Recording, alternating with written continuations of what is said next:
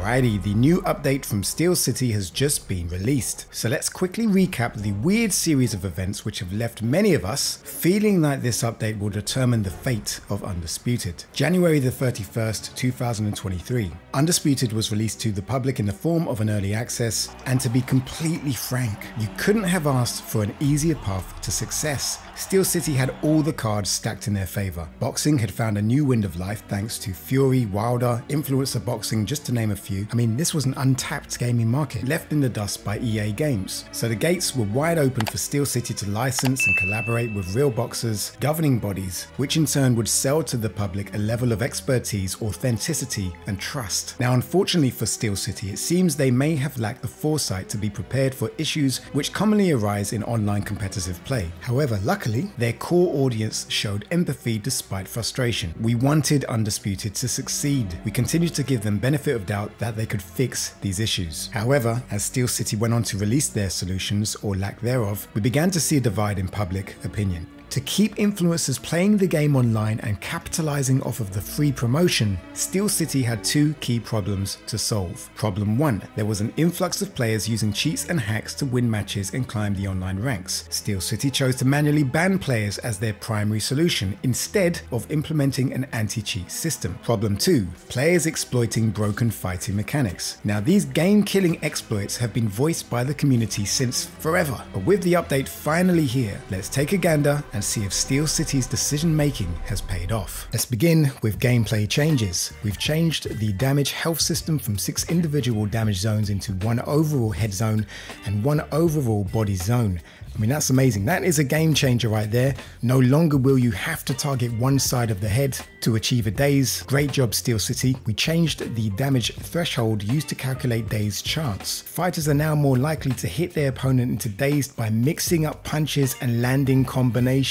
Again, another fantastic update. This is similar to UFC Undisputed 3, a great addition to gameplay. We've reduced the movement speed of fighters that are dazed, making it more achievable for players to be able to cut off the ring and secure a finish when an opponent is hurt. Now, they haven't been specific who this is applied to, but I would assume they're talking about overpowered fighters. Added a warning to the in-fight UI that would show a player if they're close to being dazed and removed the sectional body part UI. The curve has been reduced across overall stamina or stamina regeneration, which means fighters with higher rated stamina have a less steep advantage. Okay, again, another excellent addition. Playing as the underdog, I often have to hold back my shots due to the imbalance in stamina. Thank you Steel City for the even playing field. Now for those who enjoy single player, AI update. Overhauled our AI system. The new system should allow us to control and adjust more elements of the AI's gameplay with the update. Players should see that the AI has improved ring movement, punch and stamina management, and weaving or dodging. Players can expect to see continued improvements including a more noticeable difference between fighter styles, like slugger vs outboxer over time. New fighters.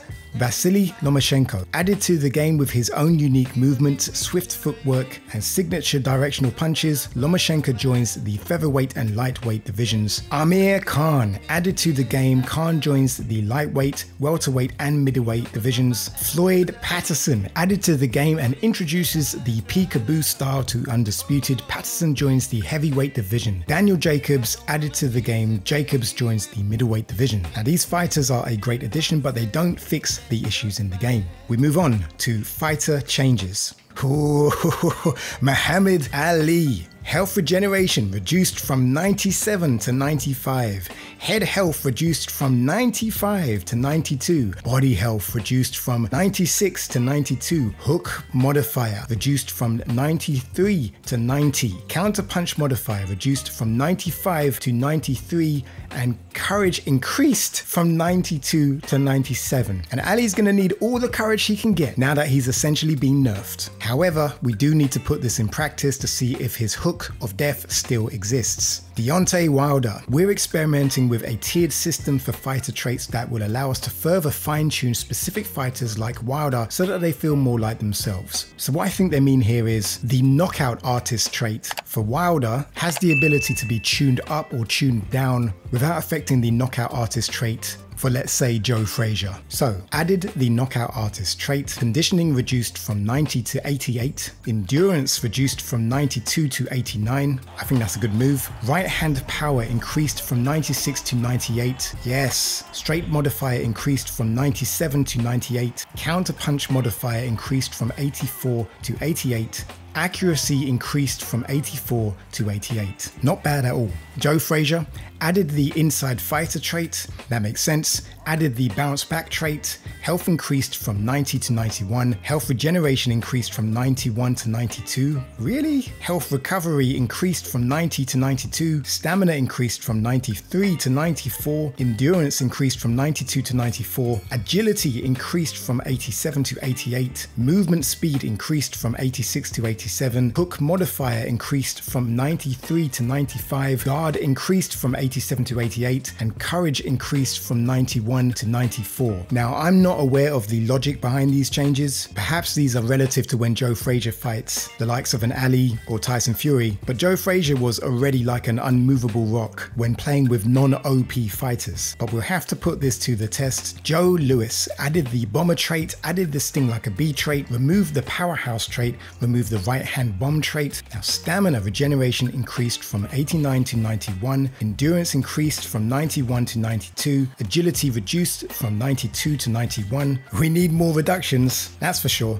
Movement speed reduced from 92 to 90, left hand power increased from 83 to 87, but right hand power reduced from 91 to 89. Jab modifier increased from 83 to 87, straight modifier increased from 86 to 92. Chin resistance increased from 86 to 88. Body resistance increased from 82 to 86. What? Okay, I think that's a really bad move, but okay. Courage increased from 87 to 91. Listen, Joe Louis has a terrible exploits regarding the shots he can take to his body and keep on pushing forward, but again, we'll just have to put this to the test. Tyson Fury, stamina reduced from 95 to 90, stamina regeneration reduced from 94 to 91, and stamina recovery reduced from 97 to 91. To be fair, Tyson Fury does have good stamina in real life. Endurance reduced from 91 to 89, left hand power reduced from 92 to 89, right hand power reduced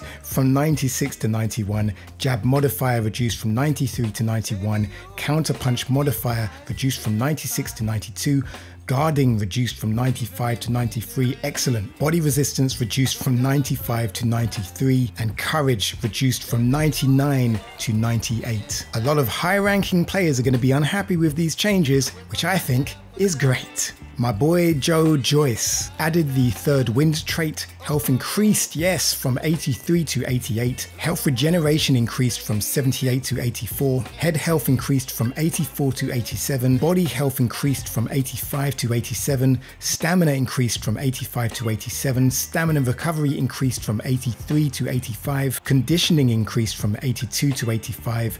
Endurance increased from 83 to 89. Movement speed increased from 78 to 80. Left hand power increased from 83 to 86. Right hand power increased from 89 to 90. And counter punch modifier increased from 87 to 89. Now, despite Joe Joyce's recent loss in real life, this man is a tank. And these value changes were much needed. Great job, Steel City. Rocky Marciano added the granite chin trait, stamina increased from 90 to 95, stamina regeneration increased from 89 to 82, stamina regeneration increased from 89 to 92, stamina recovery increased from 87 to 92, conditioning increased from 87 to 92, endurance increased from 88 to 92, agility reduced from 97 to 95, movement speed reduced from 96 to 92, left hand power increased from 84 to 86, hook modifier reduced from from 94 to 92, straight modifier increased from 87 to 93, power punch modifier increased from 90 to 92, counter punch modifier increased from 89 to 91, courage increased from 91 to 93. Alexander Usyk, health increased from 90 to 92, health recovery increased from 89 to 91, stamina increased from 86 to 93, stamina regeneration increased from 89 to 91, stamina recovery increased from 88 to 92. 92, conditioning increased from 87 to 91, endurance increased from 87 to 91, movement speed increased from 90 to 92. Roy Jones Jr. in heavyweight, health reduced from 92 to 86, health regeneration reduced from 88 to 86, head health reduced from 87 to 85, and body health reduced from 92 to 90. Yeah, I like these changes to Jones in heavyweight. So the final fighter changed Shawn Porter at welterweight, added the inside fighter trait, added the bounce back trait, overall adjusted from 83 to 84. Stamina increased from 83 to 90. Wow. Stamina regeneration increased from 86 to 90. Stamina recovery increased from 85 to 89. Conditioning increased from 83 to 88, endurance increased from 82 to 87, movement speed increased from 82 to 87, and courage increased from 82 to 88. Those are huge changes for Shawn Porter. Let's see if it's an improvement or detriment to his opponents. We move on to bug fixes. And since there are so many of them, I'm only going to focus on those which affect gameplay fixed an issue with lunging punches not registering against dazed opponents, fixed an issue with Muhammad Ali's movement looking unnatural, fixed an issue with Muhammad Ali's clinch, fixed an issue regarding headshots being counted incorrectly in totals, fixed an issue that meant body damage was not being calculated correctly and as a result, players would struggle to daze or knock down an opponent with body punches. Fantastic, this is an issue that has been brought up in most of my videos. Great job Steel City.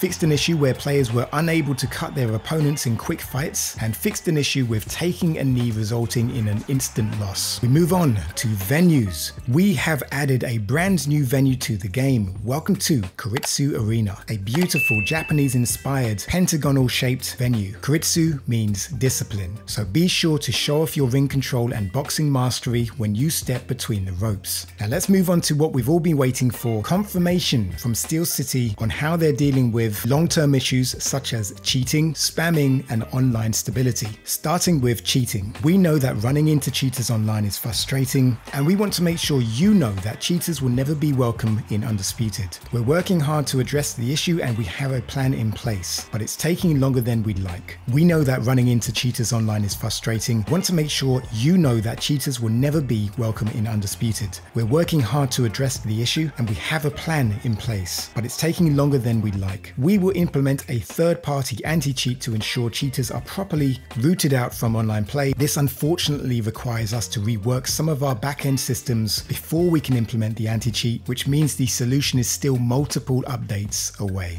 And with that, I'll say this. The fact that you've been specific regarding an anti-cheat system is for me personally all the reassurance I need. And that's why non-vague communication is so important between the creators and the consumers. We move on to body uppercut spam. Players are able to repeatedly use the body uppercut without much consequence, leading to unbalanced fights. We're currently testing two solutions internally, a change to the body uppercut targeting and a change to body blocking that we hope to ship in the next game update. Better late than never, that's great news. Online stability. We're continuing to work to improve online stability and want to ensure we get it right because we know how frustrating it can be to play with desync or to be disconnected from a fight. Improving this is a big task which requires a lot of work and testing, and our investigations point to any improvement being a few updates away. To that end, we're also adding additional resources to our online team as well as engaging third party experts to help us get to the best long term solution for online play. Again, detailed communication is is everything. Now that we know what is specifically being planned, much of the conspiracies floating around should be laid to rest. I will be testing these updates later in the week, so make sure to subscribe so you don't miss out. Based on what I've read, I want to give a big thank you to Steel City for remaining dedicated to Undisputed and not folding under pressure. The only reason why YouTubers like myself put you under the fire is because one, bad press is good press, and two, I'm fully aware how much potential Undisputed has to being the greatest boxing game game ever made. And to everyone watching,